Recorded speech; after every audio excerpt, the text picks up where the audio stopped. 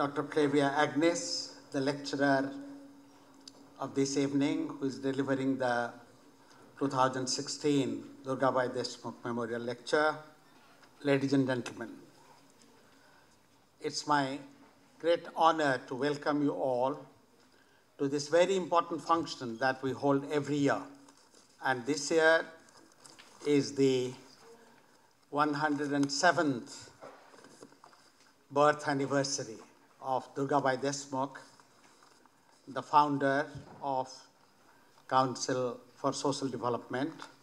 This is a momentous evening and we celebrate the legacy of Durgabai Deshmukh through somebody who is carrying forward that legacy, namely Flavia Agnes. Thank you very much. Thank you, Mr. Mohanty, Mr. Dubey, and CSD and IIC for having me here, for choosing, choosing me to deliver this very prestigious lecture. Actually, the title of my lecture is Has Codified Hindu Law Changed Gender Relationships in India? It's a quite a provocative title, I am aware. I am also aware, acutely aware, that I am speaking to a predominantly Hindu audience from a perspective of not being a Hindu. So, in a way, from the outside. Unfortunately, the progressive Hindus never really think of themselves as Hindus. So, when I ask people, do everybody have religious laws? And they say, yeah, yeah, Muslims have. And then they add, yeah, yeah, Christians also have. And you? I mean, 95% are Christ, uh, Hindus. What about you? No, we don't have. Mizala is codified. So I know overall that is the impression that we carry. That we are progressive and we do not have personal laws. I am also aware that patriarchy is overarching. It's not Hindu, it's not Muslim, it's not Christian. It is overarching. It is feudal, it's Brahminical, it can be capitalistic, it can be European Christianity, it can be Islamic. So there is overarching patriarchy, and all of us imbibe that patriarchy to greater or lesser extent. As men, as women, all of us are part of a patriarchal structure. The Hindu patriarchy, in a way, because it is majoritarian patriarchy, it becomes the norm. And no one is saved from that. That means Islamic patriarchy in India or Christian patriarchy in India, in a way, borrows from the Hindu patriarchal norms and they make it on their own. So we have a situation, of course, everybody has their own specific patriarchy. Then we have an Indian patriarchy based on the norms of Hindu law or Hindu tradition. So everybody is there. In 1955-56, we had the codification Hindu law. But in 1950, we had the constitution. And the constitution had Article 14, which said equality, no discrimination on the basis of religion. Just, just then, like just five years before. We also had Article 44, which says that we shall endeavor to have a uniform civil code. Five years later, we have a departure and we have a code only for Hindus. In 1956, we made a concession for daughters and we said separate property of the father. If he is not a it will go equally to boys and girls. And as law students, we continuously study. In 1956, women got equal property rights. But when you look around, we know that women do not have equal property rights. Now here the concept was this property will wither away at some point because when a man dies, co-partnership will dissolve. And then from there onwards, there will not be co-partnership. So my other issues is, okay, this Hindu code will happened. What did the Hindu code bill give? What are the issues there for Hindu? I'm, I'm talking, not talking about the code bill per se, I'm talking about Hindu law of marriage, 1955 Act. There are two or three issues that came up. Marriage became dissolvable. That means divorce on certain grounds, which means marriage became a contract. Contract is essential that parties consent. So consent became important ingredients of Hindu law, just as in Islamic law, just as in Christian law, consent is to be there. Number. Number two, Hindu marriages became monogamous. One man, one wife. We had a minimum age of marriage.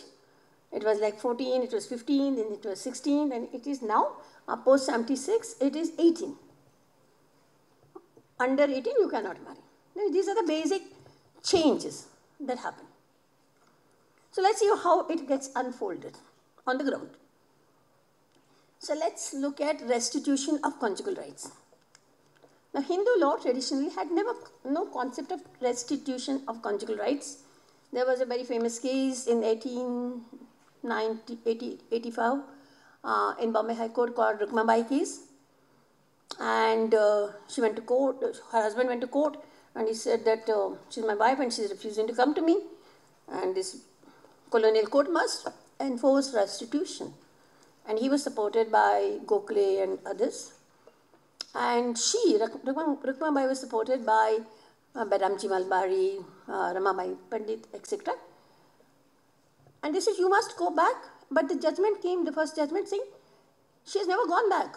So it's only restoration, it's not institution.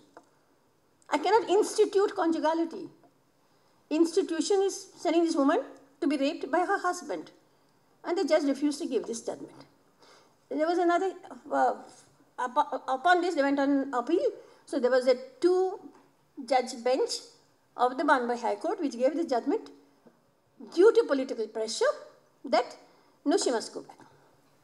And this woman, Rukmabai, stood there, challenged it, and said, I will not go back. You punish me. You send me to prison, I don't care. And this became a big badnaam for the colonial legal order because that is a time women in uh, England were asking for their right to vote, right to property in 1880s, I'm talking about. And they said, what is this colonial administration doing in India? Supposed to be bringing enlightenment, etc., etc., liberating Hindu women, etc. So finally, the matter got settled because the British Crown interfered. They said, don't send her to prison. She said, I'm ready to go. But there were no women's cells, women's unit in prisons at that time. So finally, she had to give money to her husband. And she was only 18 or 19. So this is the history, colonial history of this uh, um, provision. So what I'm trying to say, neither Hindu law nor Islamic law had a concept of restitution of conjugal rights. But it was introduced by the British and the lawyers trained in British law in England, and they brought it and it was always used against women. So let's see how this law gets used. It gets codified in the codified law in section 9. So there were a lot of judgments in the 60s uh, which says that when the woman is working outside the home and she's the breadwinner and husband is calling her back because it is hurting his ego that she's earning, so he wants her to stop earning. So he says files restitution of conjugal rights. And we have a series of judgments. What does it say? As a Hindu woman, her primary duty is to her husband. Her husband is her Lord and Master. She has to obey him. She has to revere him. She has to live in a place chosen by him. And they pass a restitution order forcing her to give up her job and come back. So, we have already made the Hindu law sacramental. We have brought in consent, we have brought in equality, yet the concept in our courts continued to be the Lord and Master he is the head of the family. He will decide where to stay. Finally, finally, in um, somewhere in 1970s, one judgment of the full bench judgment of the Delhi High Court says, no, she doesn't have to go if she's earning and supporting the family, not otherwise. You know, we cannot stop the women from earning and supporting the family. After all, like she is the breadwinner of the family. So have the right as a breadwinner itself, it took like 20 more years. Two other important things, child marriage, uh, age of marriage and uh, monogamy very contentious issues. So monogamy, Hindu man and Hindu woman, only one you can have. You can have more than one. Fine. 20 years later, um, the, uh, there was this uh, Status of Women Committee report, and they bring out the statistics that more Hindus are committing polygamy than Muslims. I have the statistics. After that, we never did it. But before that, I want to say, after we went to that area only, but before that, I want to say some other point is that, uh, so it made a law for Hindus. So, who is a Hindu has been a long and contested issue because every time women wanted property rights prior to the codification of the Hindu law, they would go to court and say, We are not Hindus. And there were a series of cases. All the lower caste women who had a right of adoption, adopting girls, um, giving their property to their daughters, all of them, a right of remarriage, remarriage where they don't have to give their property, what they had inherited from their husband earlier, they all went to court and said, We are not Hindus. If they were declared non Hindus, their property rights could be protected. If they were detected as Hindus, they would not have property rights because then Manu's code will apply to them. And they were very smart. They said, We are not Hindus at all. So when the court came, uh, what it says is if you are a born a Hindu and uh, or if you have adopted Hinduism, fine. Then it says if you are a Buddhist, Jain, Sikh, Arya Samaji, Prarthana Samaji, Brahma Samaji, if you are a Veerashaiva, if you are a Lingayat, these are all mentioned. You are all Hindus. Okay? And each one they mentioned because they were reformed religion who said we are not Hindus. We don't believe in this concept. Like Brahma said, we believe in one God. We don't believe in plur, plur, pluralistic gods, for instance. We don't believe in rituals. We don't believe this. We don't believe that.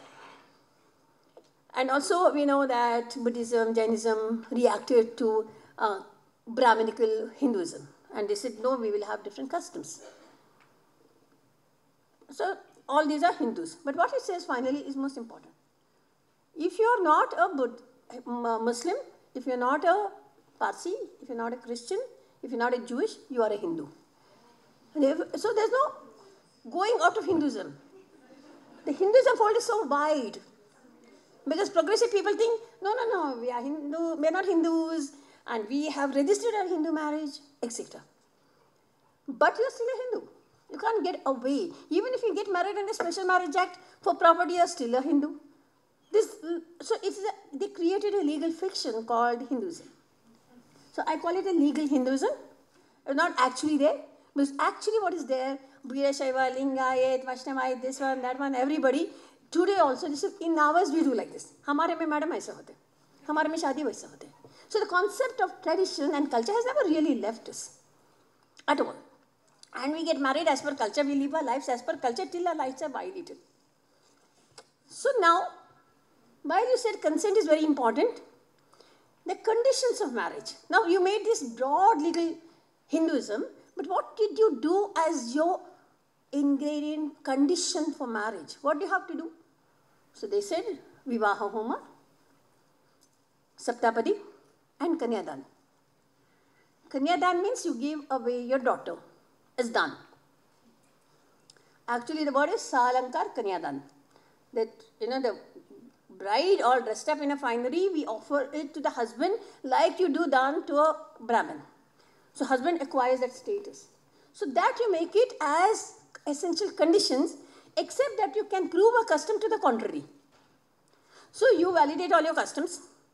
If you are not, uh, don't have custom, then this would apply to you, including to Buddhist and, uh, and all the newer religions, everything. So you must do this. You bring back a Brahminical Hinduism for everybody who's now defined as Hindu, broadly.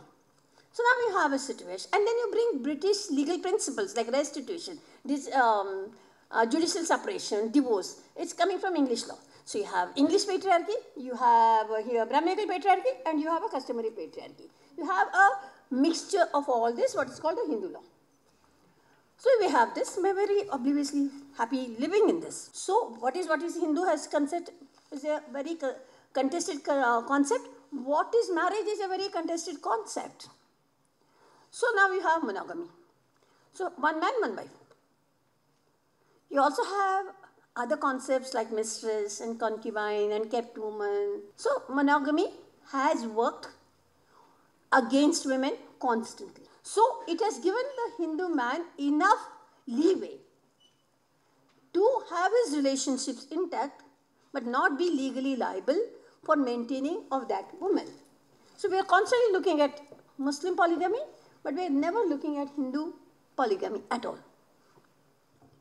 So now at some point we realized that, oh my God, so many Hindu men are polygamous. or bigamous or um, having relationships outside of marriage. So we need to do something. So in 2005, we introduced a concept called um, Domestic Violence Act. And this issue is a bothering issue, it's a burning issue that so many women's marriages are held invalid in the court. So we need to do something about it. So we say marriage or marriage like. So we introduce a new concept and which is applicable mainly for Hindus that a marriage like relationship. So what is a marriage like relationship? Is now we have given it a new term called live-in. So people think live-in is very fancy, very western, uh, it is very urban, you don't want to get married, you live in, etc. But where is actually applicable is for marriages which are technically defective, where the man has already another wife, but he has lived like a marriage-like relationship in this marriage, in this relationship, he has children. So this comes in 2011 before the Supreme Court in a decision concerning a man whose uh, I can call a wife or a partner, but two courts had given, two courts below had given him, given her maintenance. That's the Madurai Family Court and the Madras High Court. When it comes to Supreme Court, it was under maintenance under 125 CRPC. At that time, we had Justice Katju looking at this, and from his uh, Brahminical perspective, he looks at it and he says, Oh, she's a concubine. According to me, a term squarely within Brahminical patriarchy. Okay, let's move further. Let's look at what happened in child marriage. So latest, latest uh, statistics that are out is that 12 million children in India are married under the age of 10. Not created by me at all. It's there in the net everywhere, it's in the papers. Out of that, 84% are Hindus. 11% are Muslims. According to me, if actually the law was having this transformatory factor, then it should not have been the same because under Islam, age of reason. Under a Hindu law, 18 years. But Hindu marriages are underage are not void at all. But my question is, why do we get our daughters married so young? What is it that drives us? Everybody wants to marry their daughters. I'm not saying Christians or Muslims don't want to marry. But it's not a pious obligation. Marrying a daughter is a pious obligation. Alongside that pious obligation, as I said, Salankar Kanyadan. So she's given as dan, but she's also bedecked and there is like dowry. I'm not saying Christians don't have dowry. I'm not saying Muslims don't have to have dowry. Everybody has dowry. But dowry is a Hindu concept that you give your daughter and you give gifts, Varadakshina, Kanyadan, all of that is a concept. So now here you give your daughter, so we have dowry law. 1961, 83, etc., 86, eh, all the dowry provision, that has never worked.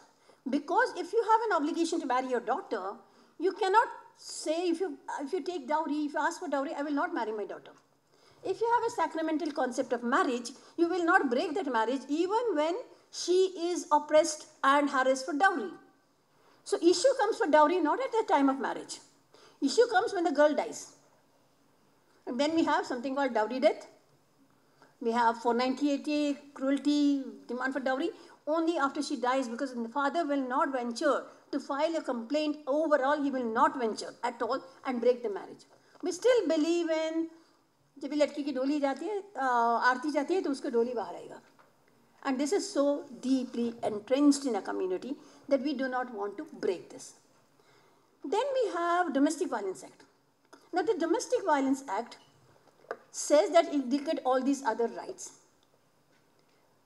You can have a right of uh, residence, you have a right of compensation, you have a right of maintenance, etc. But even that act has not worked because every time the woman goes somewhere, goes to the police, goes to court, everybody is hell bent to reconcile. Marriage has to be protected. Never mind, you adjust.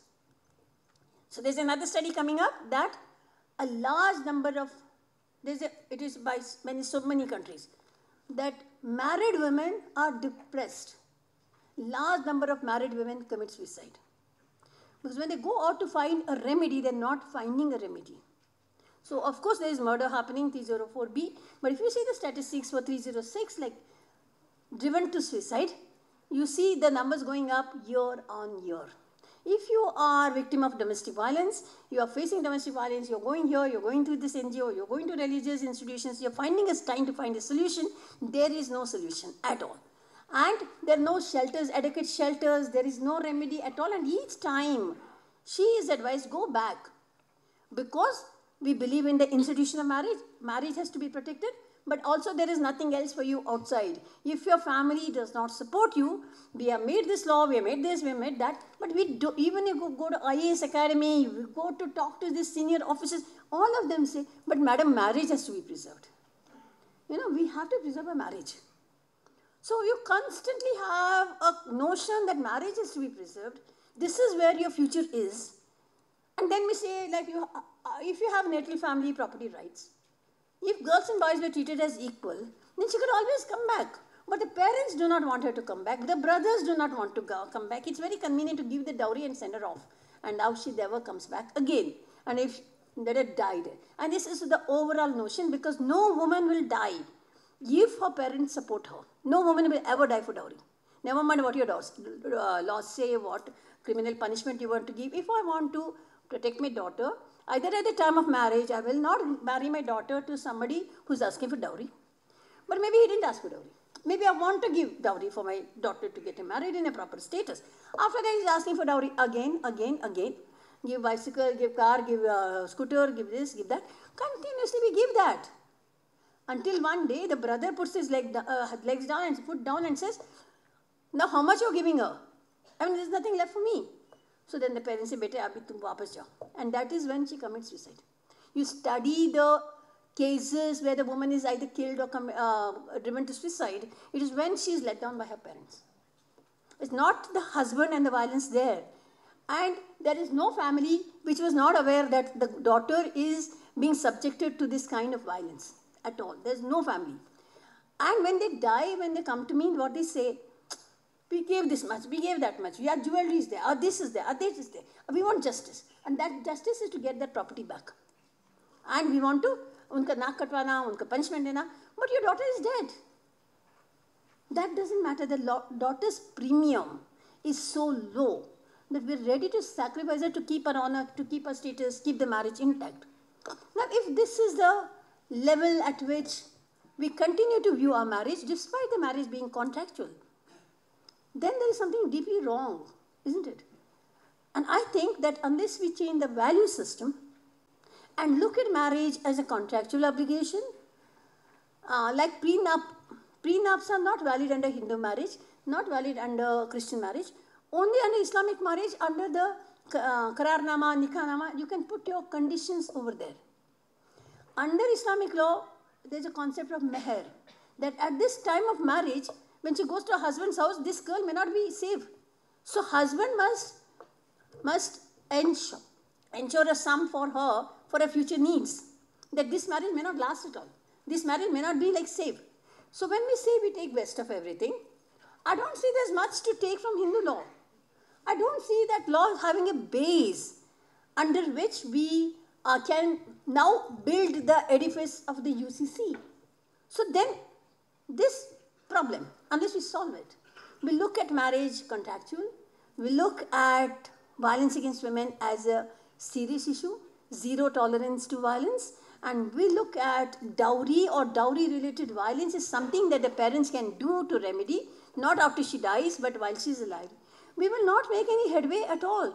So why it is very easy to say, let's have a UCC, let's have a UCC, let's have a UCC, Hindu law is reformed and other laws are not reformed, but I don't see the base of it happening in the existing structure and in the existing traditional Hindu value system and concepts. I am sorry that I might have hurt Hindu sentiments here, but I'm talking about law and I'm talking about facts based on law. And this is where I will end my lecture. And thank you very much.